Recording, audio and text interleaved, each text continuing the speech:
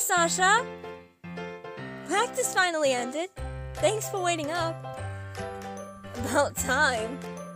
Ready to head over to the arcade? I've been ready for like 10 minutes, Dork. Also, you got a leaf in your hair. Where's Marcy? Don't know.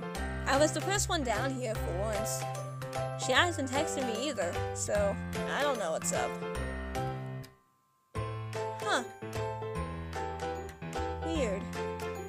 Hates being late. You think she got lost in the halls again? Maybe, but that hasn't happened in a while. She's gotten better about paying attention to where, to where she's going. She's probably still in her club. Hmm.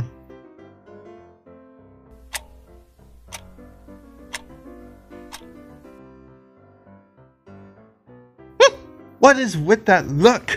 Screw this. I forfeit. I can't do this. You win. I'm sick of losing. I'm throwing in the towel, but I still have what's left of my deity. Marcy, you here? Move over. God, what a freak. I hope whoever plays her nets wipes that smoke off her face for good. Hey, watch it, freshie! Man, what a sourpuss. They didn't have to storm out like that.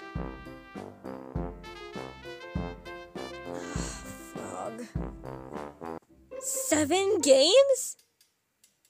Jeez, no wonder the kid was fuming. Look, I was on a winning streak, okay? I may have gone a little overboard, sure, but they were the one who kept asking for rematches. Yeah, but you didn't have to completely destroy them.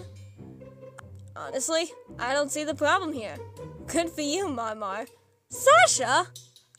I'm sorry, I can't help it.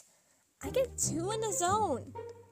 My brain goes all like beep boop, beep beep boop boop. And it's like I can see every possible outcome for the game. It's insane. I'm like a supercomputer. More like super cheating. It's not cheating if no one's looking. Come on, Ange, relax. It's not a big deal. We're stuck with these wacky powers. Might as well have a little fun with them. You mean like how you had fun strangling that poor water fountain a week ago during lunch? I'm still shocked you didn't get charged for property damage. That was an accident! I was in a bad mood and those fountains are weak as hell. Plus, I didn't get in trouble because the principal loves me. Didn't he kick you off the cheer squad? He moved me, thought my strength and fierceness would be better suited for the football team. And now, I'm the star player.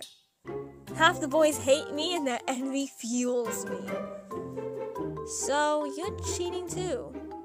It's called using my resources.